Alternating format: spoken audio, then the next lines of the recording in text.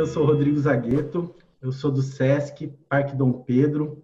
Estou aqui hoje é, para dando sequência, dando é, fazendo mais um episódio do Esportes em Pauta, um projeto do SESC São Paulo que tem o principal objetivo é, de falar do esporte, continuar é, vivendo o esporte mesmo em momentos difíceis. É, e eu estou aqui hoje é, com uma pessoa super especial, é, que já já eu falo para vocês.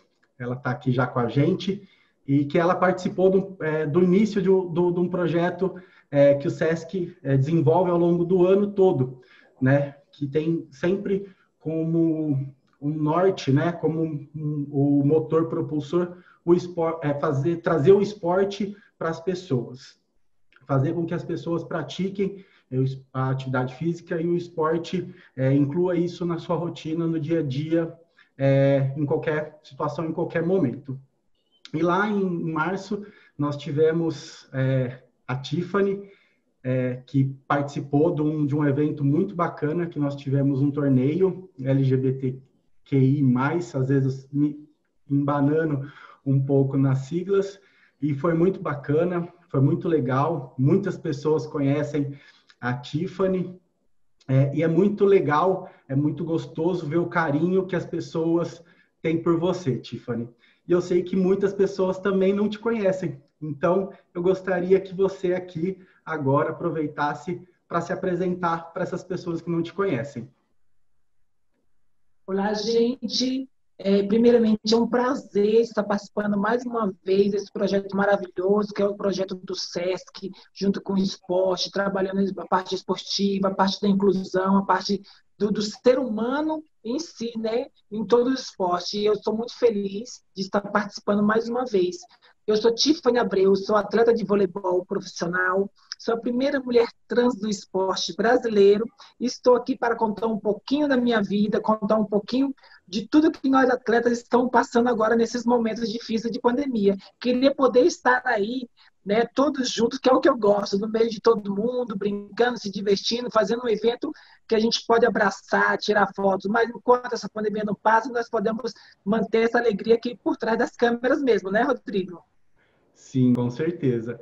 E isso é muito evidente, né? É, eu já te conheci em alguns momentos, já, já te vi de longe, mas lá no SESC foi a primeira vez que eu te vi fora de quadro ali também, né? E, e isso que você falou realmente é, é muito forte, né? Você abraça, tá junto, tira foto, conversa, bate papo. É, e aí eu conheci você, assim, no caso, vendo você atleta e vendo você fora de, de quadra, parece que são diferentes, mas ao mesmo tempo não são. Qual que é a sua impressão? Tem diferença? Não tem? Tiffany dentro de quadra, Tiffany fora de quadra? Eu, eu, eu, acredito que dentro de quadro é nosso trabalho, né? A gente tem que estar muito concentrado. Às vezes as pessoas até confundem a gente por estar concentrada, a gente tem uma pessoa mais, mais séria. Não, é, eu sou uma pessoa séria quando tem que ser séria, mas eu sou uma pessoa muito amiga, muito alegre, uma pessoa que gosta de abraço, uma pessoa que gosta de conversar, uma pessoa que gosta de estar junto. Eu gosto muito do contato, né? Com, com o próximo, com, com o amigo. Acho que o contato, um abraço carinho verdadeiro, transmite muitas coisas. Eu sou esse tipo de pessoa. Tanto que quando termina meu jogo, eu sou a última a sair do ginásio, porque eu gosto de, enquanto não atender a todos, tirando foto, abraçando todo mundo, eu não estou satisfeita para ir dentro do vestiário.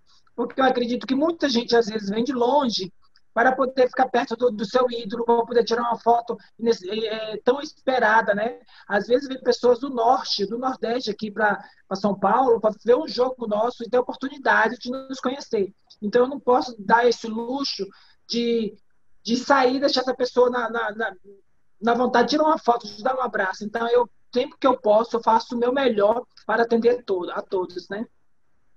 Ah, que legal. E você tocou num ponto que agora eu fiquei com a pulga atrás da orelha.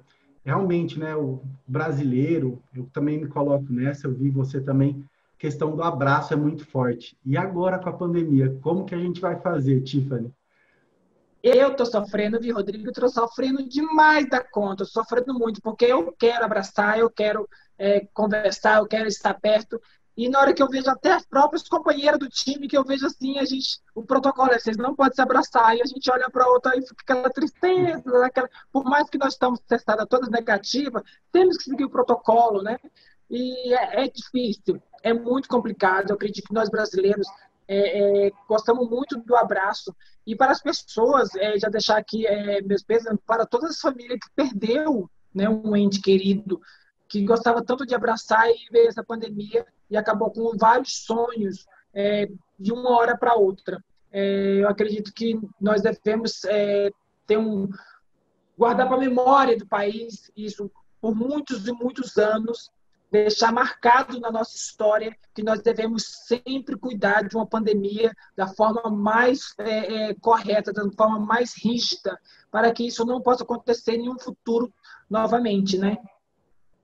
Sim, com certeza. Um momento bem complicado também por essa, essa questão. Muitas perdas nesse, nesse período, né? E, e isso é, faz com que as pessoas comentem muito num, num novo normal, num, numa nova forma de viver. E isso pressupõe também novas pessoas, né? Se as coisas mudam, também pressupõe que é, as coisas mudam devido à mudança das pessoas.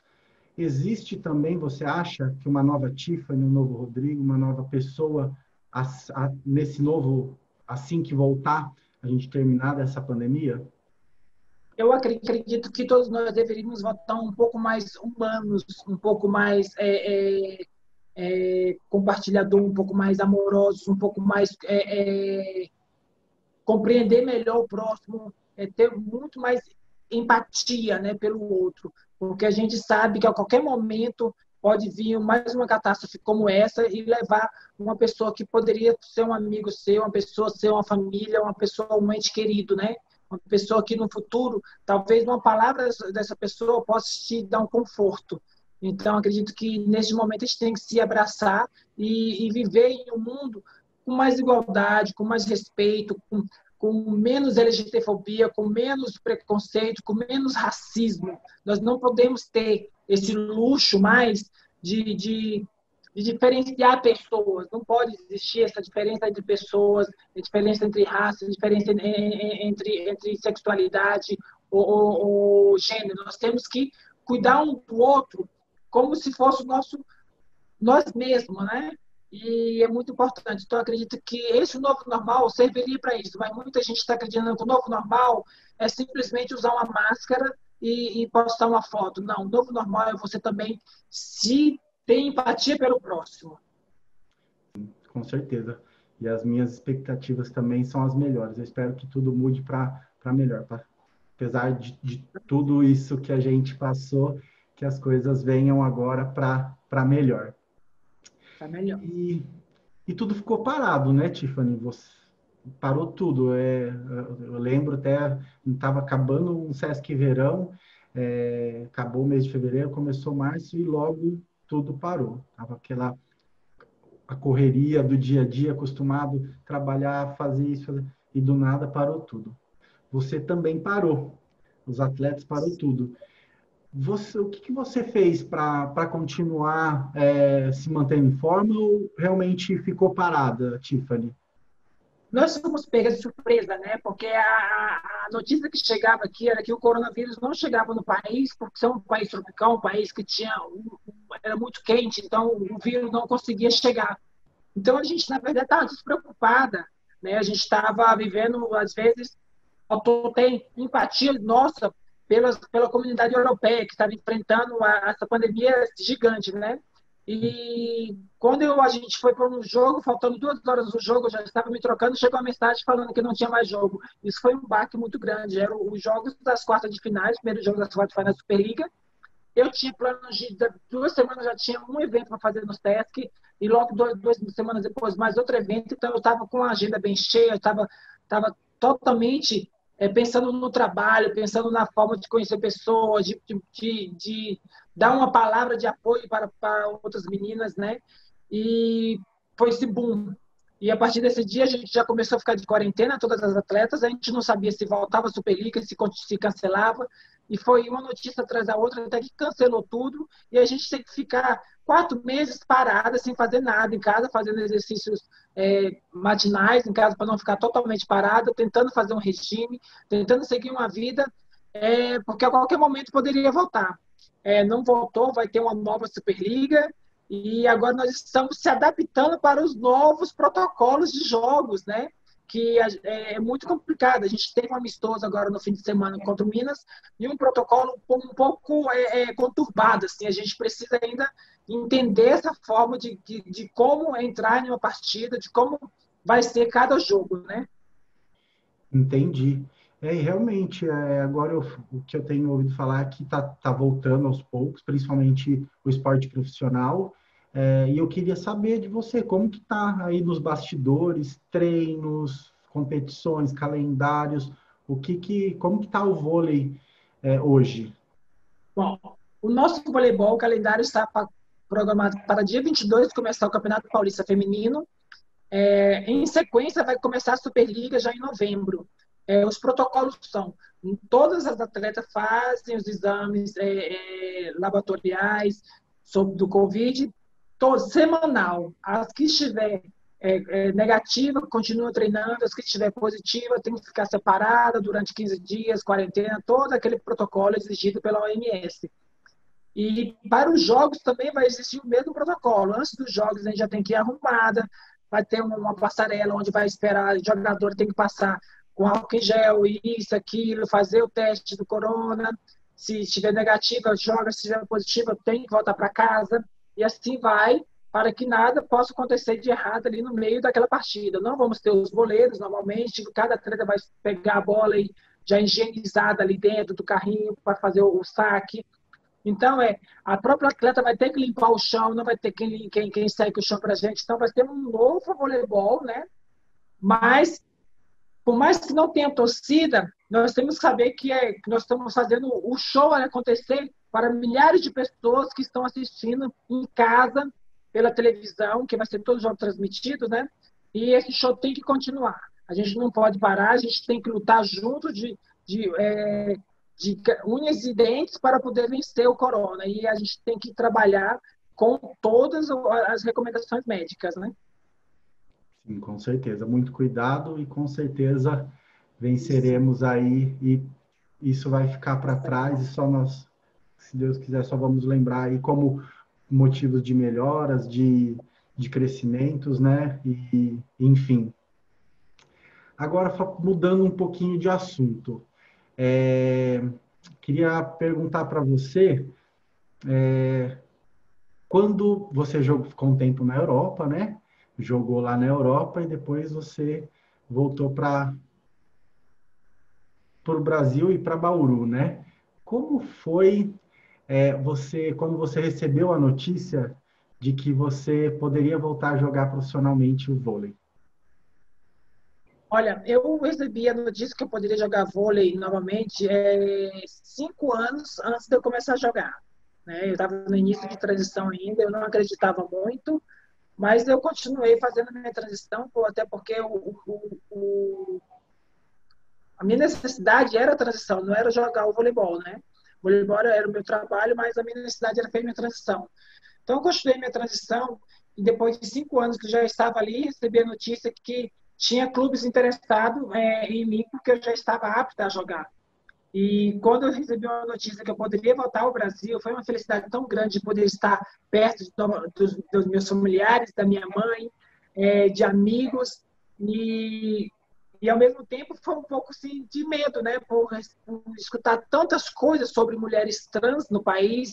É um país que mais mata LGBT, é o país que mais mata mulheres trans.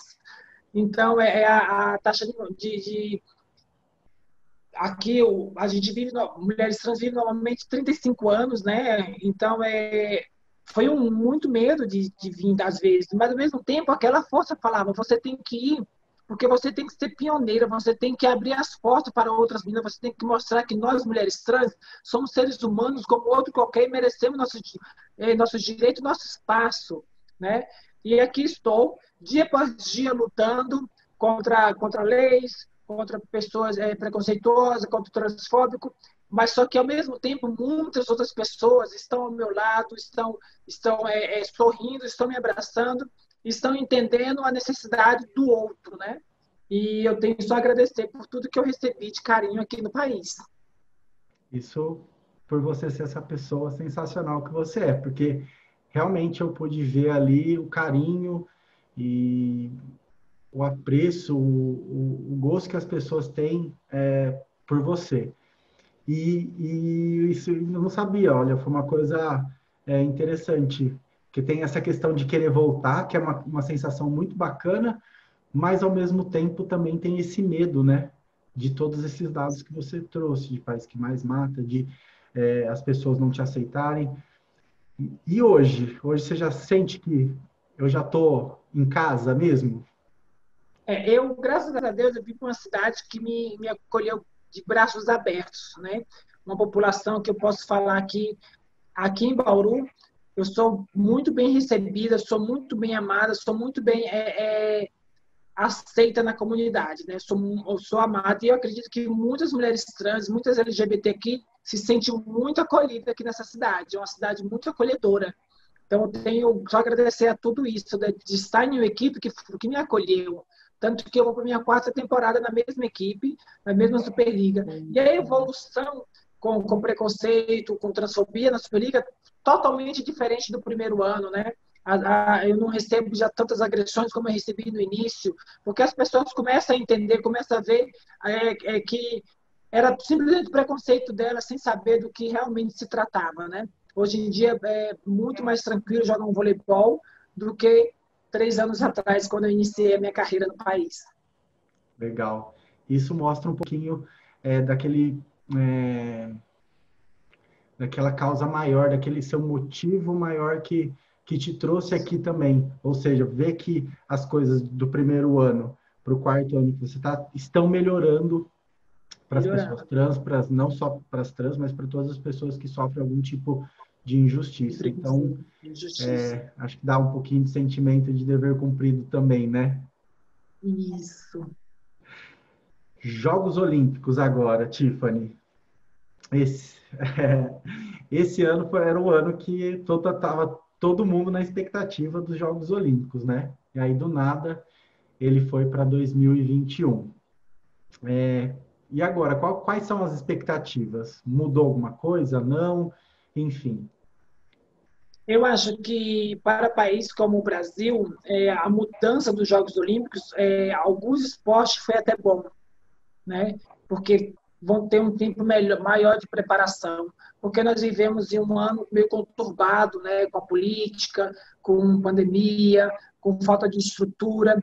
É, não temos mais é, é, o Ministério do Esporte, já virou o Ministério do Esporte com Cultura, então teve um pouco de, de, de de confusão ali no meio do, do esporte que às vezes algumas equipes, alguns alguns atletas não conseguiam ainda alcançar o seu melhor. Então essa parada talvez vão conseguir um pouco mais de, de desempenho para chegar melhor nos Jogos Olímpicos. Acredito que que nós vamos chegar com uma equipe muito forte, vamos chegar com, com, com, com com um Brasil muito forte em todas as modalidades. E temos chance de fazer muitas medalhas. Mas para isso a gente precisa o quê? De um investimento maior no esporte, um investimento maior na educação, um investimento maior no esporte de base. Precisamos pensar mais nos nossos adolescentes, precisamos pensar mais nos nossos, nas nossas crianças, nos nossos jovens, que vai ser o futuro do nosso esporte, né? Porque essa pandemia, queira ou não, elas tirou um ano do esporte do, do da, da, base. Os garotos que eram sub-21, as garotas que eram sub-21, o ano que vem, se sub-22, elas já perderam um ano de, de, de treinamento, um ano de, de competições. Então, nós temos que pensar em uma forma que esses, esses adolescentes não perdem esse, esse, esse ano, né? Que, que eles possam recuperar para chegar mais forte no seu sub-23, né? E assim poder é, é, dar início a uma seleção brasileira onde nas próximas Olimpíadas de 2024 né, seja um, um ápice do Brasil no, é, em cenário olímpico. Mas é triste que mudou as Olimpíadas, porém, acho que é, foi a melhor forma de fazer com que todos os países pudessem chegar mais tranquilos, sem medo de competir. Concordo plenamente que, que em alguns casos foi ruim, que em alguns casos foi, foi bom, mas que tem que tomar muito cuidado realmente para essa coisa que você colocou da, do esporte de base, né? É, talvez Isso. ele realmente tenha sido um dos mais impactados e talvez no Brasil um dos mais negligenciados, né? É, então, é, concordo plenamente com o que você falou e acho que o esporte é, precisa de um pouco mais, de um olhar um pouco mais de carinho, mais investimento, é, para que ele, que a base se, se, fortaleça e que lá na frente a gente tenha um esporte é, de alto nível, um esporte olímpico é, que, que realmente é, traga aí resultados e, e também faça, é, porque a gente sabe que não é só os resultados, né? A gente sabe que são várias coisas que envolvem os, é, que estão ligados ao esporte, mas que melhora pelo esporte, né? Isso. E aí dá para a gente fazer uma lista grande de coisas, de, de melhorias, né? Tiffany, eu vou para algumas perguntinhas rápidas aqui que eu coloquei como é, algumas perguntinhas extras é, para a gente fazendo um bate-bola rápido e já e, e caminhando para o fim, né? Eu sei que acho que você tem outros compromissos hoje. É, hoje ainda você vai treinar? Já treinou? Eu... Hoje eu tenho mais duas sessões de foto, uma sessão com, com o clube e uma sessão com assessoria. Ah, legal. Entendi. Então, treino hoje não tem, hoje é não, folga. Porque a gente chegou de viagem já na madrugada de domingo, ah. então é. Ah, vocês estavam em, em jogo. Entendi. Isso. Tá certo. Tiffany, você joga em duas posições, isso, né? É isso. ponta e... Ponta e aposta. Oi? Oposta. Ponta e aposta. Você joga de ponta e oposta. Qual das duas você prefere?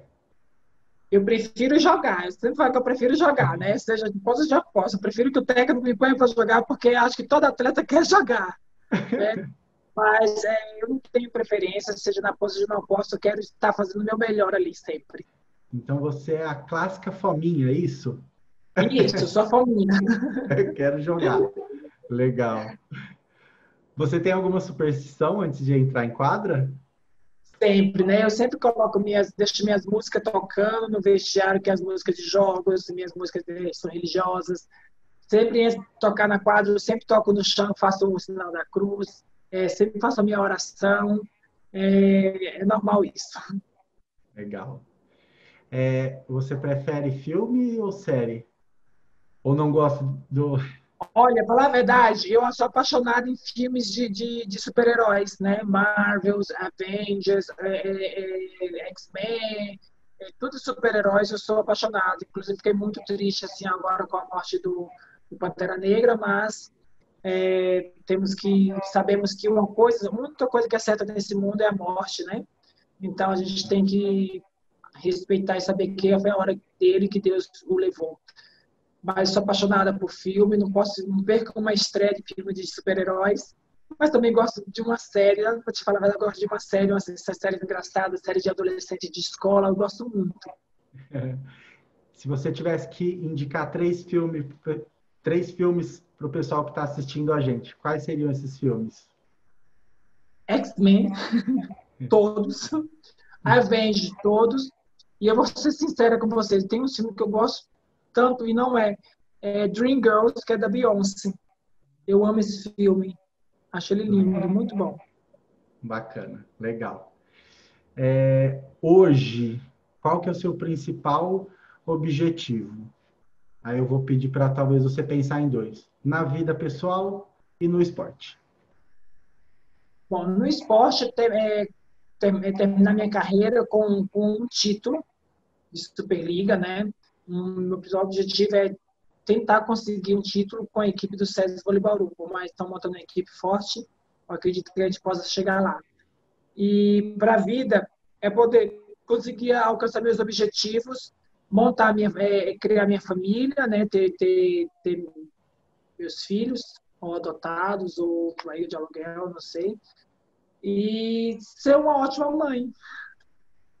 Que bacana, legal, muito bom. É... Você falou aí sobre aposentadoria. você já pensa em aposentadoria ou ainda não quer nem. nem não, eu acredito que. Eu acredito que mais duas Superligas eu devo aposentar essa e mais a próxima.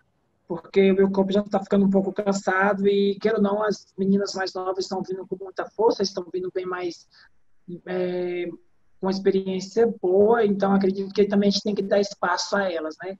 Então eu estou trabalhando para me aposentar daqui duas Superligas, mais ou menos.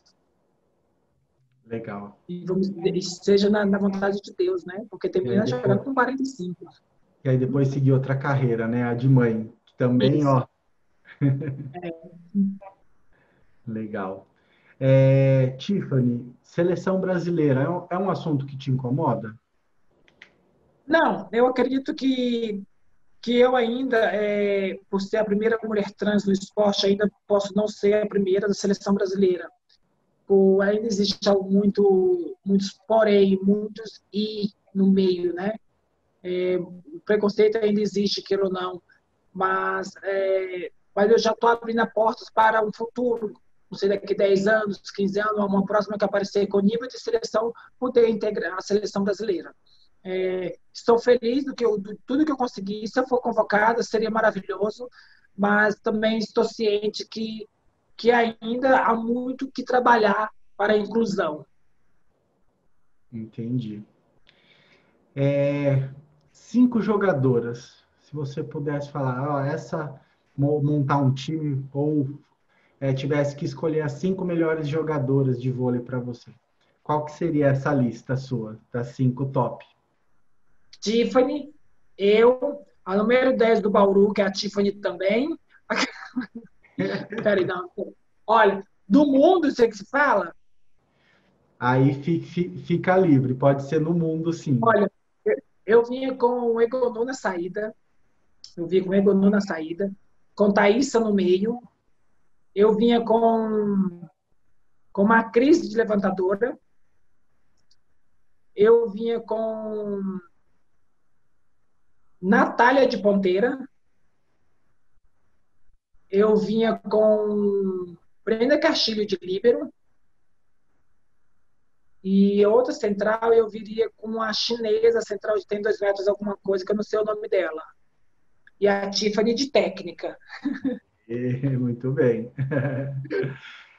Tiffany, essa pergunta veio do pessoal que, que te admira, que, que te conhece. É, e eles pediram para eu perguntar para você a seguinte coisa. É, vou até ler para você, é, não que eu estou mudando a pergunta. Nós sabemos que o pessoal do vôlei é de muita resenha e risada. Você poderia falar qual é a jogadora mais engraçada, divertida que. Mara. Quem? Mara. A Mara. A Mara? Mara, Mara Tiffany junto não dá certo. Mari e Tiffany junto, as duas. As duas é terrível. Mari e Tiffany junto, vou te contar. Aí coloca a Denise pelo meio, aí que vira aquela patafuta toda. Mas a Mara, vou te contar, ela é muito engraçada, é uma pessoa maravilhosa também. Legal. Tiffany, mais uma vez, muito obrigado. Muito legal, muito bacana estar junto com você, é, sentir essa energia sua, é, esse seu jeito de lidar com as pessoas. É, eu só tenho a agradecer é, por isso, por ter a oportunidade de estar aqui com você hoje, de poder fazer esse bate-papo e, e, e, graças a Deus, também compartilhar isso com outras pessoas. Bom, é isso, Tiffany. Não sei se você obrigada, tem mais Rodrigo. Obrigada por tudo. Foi maravilhosa a entrevista. Desculpa eu não poder ficar mais tempo, eu queria ficar mais tempo aqui, que foi ótima. Mas é uma loucura, uma correria muito grande. Obrigada, beijão, meu lindo. Que Deus te abençoe muito. Em breve nós vamos nos ver ao vivo de novo no SESC. Porque eu já estou com saudade. Com certeza nos veremos.